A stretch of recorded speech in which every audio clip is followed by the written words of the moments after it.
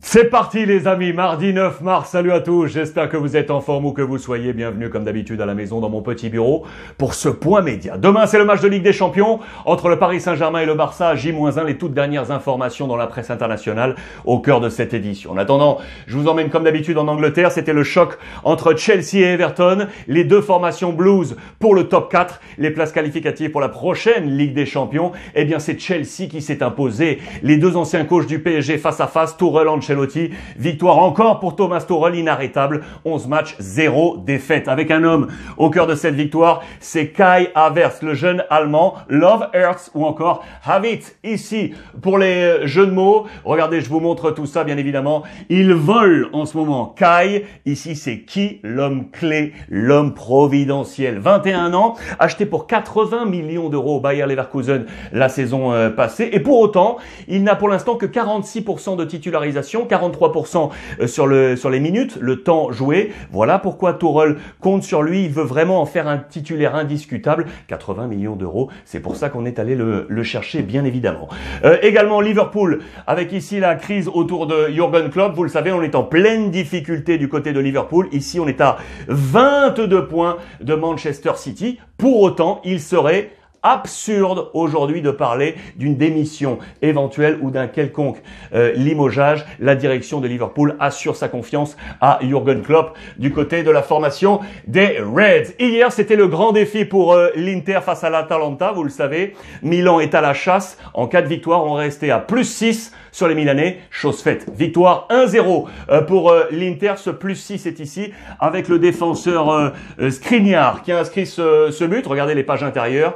Reste à ce plus 6. Voilà qui est intéressant. 26 ans, euh, troisième but pour euh, Skriniar, dixième victoire à domicile pour l'Inter consécutive. On n'est pas loin du dernier record qui était en mai 2011. On était à 13 victoires. 10, on est à 10 euh, pour le moment pour l'Inter Milan. Victoire très importante sur la C Milan derrière qui est à la chasse avec ses deux hommes forts du moment à 6 points. C'est Zlatan Ibrahimovic. Vous le savez, 16 buts pour l'instant et le président. Il y a le boss et le président.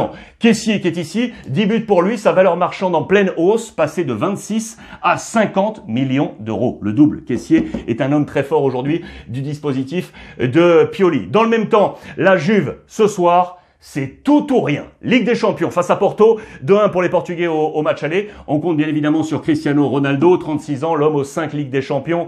Pour Pirlo, 41 ans. Il l'avait laissé au repos ce dernier week-end lors de la victoire de la Juve. Il sera bien là pour ce match face à Porto. Je vous ai grossi la composition d'équipe probable. Il y a deux incertitudes. La première, elle est au milieu de terrain. Rabiot semble titulaire indiscutable, mais c'est ici, ce serait soit Kulusevski, euh, soit McKenny ou Ramsey trois hommes pour un poste. La deuxième incertitude, elle est, derrière. Ici sur euh, Demiral, ce serait Demiral ou euh, l'ami euh, Chiellini pour accompagner Bonucci et Alexandro dans cette défense lancée par euh, Pirlo. L'autre information en Italie, je voulais avoir une grosse pensée pour Fauzi Goulam, l'ancien Stéphanois qui était à Naples déjà depuis 2014. Le temps passe.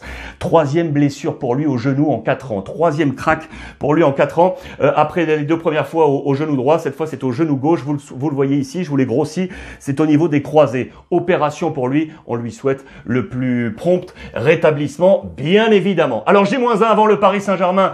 Euh, Barça, les dernières informations des deux côtés. Côté Barça, bien entendu, c'est le jour d'après, le premier jour de présidence du président euh, Laporta, nouveau président du Barça. Ça y est, il est aux commandes, il est à l'œuvre. Il est allé voir tout de suite, bien évidemment, Ronald Koeman, le groupe sportif du FC Barcelone. Il a fait la visite de l'ensemble du club avec le basket, les féminines, absolument tout le monde autour pour donner la nouvelle impulsion et croire éventuellement au miracle face au PSG. Vous voyez la tête ici de Jordi Cruyff? Eh bien, il est tout simplement le premier, la première grosse signature à venir euh, pour le Barça. Voici les trois premiers visages à venir, avec donc Jordi Cruyff qui serait très certainement le nouveau directeur sportif. Il est toujours en activité du côté de la Chine. On est en pour parler pour le, pour le libérer. Voici quel serait le nouveau CIO, Ferran Reverter, qui serait le nouveau CIO du Barça et un homme que l'on connaît un peu mieux sur la scène internationale. Matteo Alemani, euh, ancien de Valence, de Majorque, les Eto et compagnie sont passés par lui. Il sera l'homme exécutif du euh, Barça. À noter qu'il avait repoussé une offre de Florentino Pérez en 2000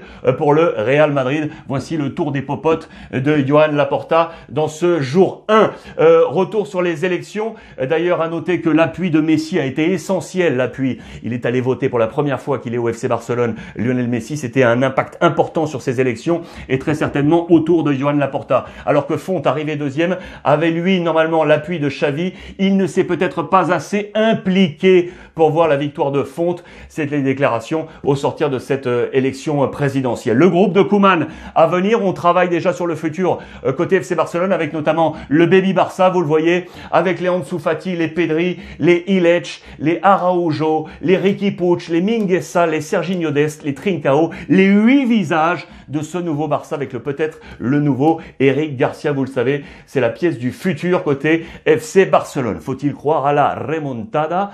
Nous disent oui, nos confrères espagnols. C'est logique. Ça a été le cas en coupe avec euh, une finale obtenue après un 2-0 perdu face à Séville au match aller 3-0. Remontada réussie. La remontada également en Liga puisque dans ce comparatif avec le Real Madrid, on était à moins 8 points du Real Madrid et puis on est remonté petit à petit pour être à plus 2 au-dessus du Real derrière l'Atlético. S sera euh, est-ce qu'on aura, est-ce qu'on assistera pardon à une remontada en Ligue des Champions? Le verdict euh, sera donc demain. Les informations côté Paris Saint-Germain, je vous les livre également dans la presse française. L'équipe avec le contrat de Kylian Mbappé, Mbappé n'est pas pressé. Vous le voyez avec le Paris Saint-Germain qui espère une réponse imminente de son attaquant au sujet de la prolongation. On a encore un doute sur Neymar, sur sa participation, oui ou non demain. Les derniers tests passés par le Brésilien ont révélé une gêne aux adducteurs.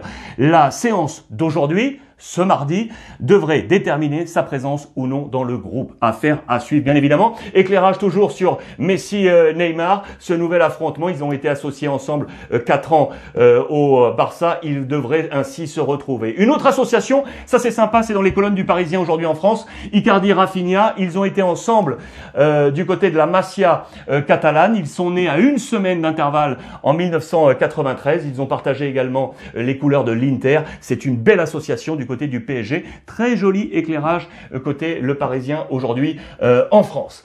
Euh, le Real Madrid également des informations à vous donner avec les batailles présidentielles puisque Laporta est dans l'ombre ici avec Florentino Pérez dans l'ombre. Bataille sur le mercato avec au cœur de tout ça du Haaland ou du Alaba. On va y revenir. Marca qui avance les différences autour de des échanges autour de l'arbitre dans le grand derby entre l'Atlético et le Real Madrid, histoire de polémique après le 1 but partout entre les deux formations. Voilà la guerre lancée dans les colonnes de de, As. Ils chassent sur le même terrain. Il y a du Alaba, il y a du Haaland. C'est le début de cette nouvelle rivalité. Les deux hommes se connaissent parfaitement. Voilà qui va nous animer les prochaines pages, à n'en pas douter. Euh, information complémentaire, notez, notez ça côté Real Madrid. Cela s'est vu encore dans ce derby euh, face à, à l'Atlético. Le Real est revenu. Le Real est tout simplement la formation qui récupère le plus de points en seconde période. Voici le classement. Regardez, en première période, on avait 41 points au total pour le Real Madrid. Les points euh, au total, euh, au terme de la rencontre, on est à 54, plus 13, 13 points de grappillé. C'est la première formation, la meilleure formation sur les secondes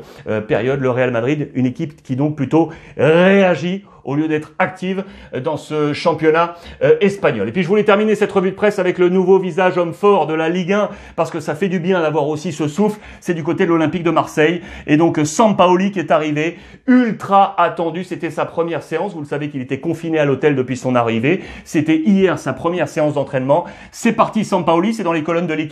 Son staff est ici avec ses proches, les Jorge Decio, le sosie calme, euh, Mechin qui est là, c'est le coup de cœur de Santos, Diogo Mechin. Il y a Laurent Spinozzi, euh, l'historique, Pablo Fernandez, l'ami retrouvé, Patricio D'Amico, la touche francophone, et encore Jacques Abardonado, Pancho, la couleur locale pour cette euh, OM. Regardez également dans les couleurs de la Provence, euh, sera-t-il le Messi de cet Olympique de Marseille face à un champ de ruines? C'est tout qu'on peut souhaiter, bien évidemment, à l'OM pour la suite. Le nouveau visage, il est donc là, et c'est avec lui qu'on va terminer cette revue de presse. Merci comme d'habitude, les amis, d'échanger via le hashtag Ruiz Club. Merci de toute votre énergie donnée tous les jours sur l'ensemble des réseaux sociaux. Passez une belle journée, on se retrouve et profitez des vôtres.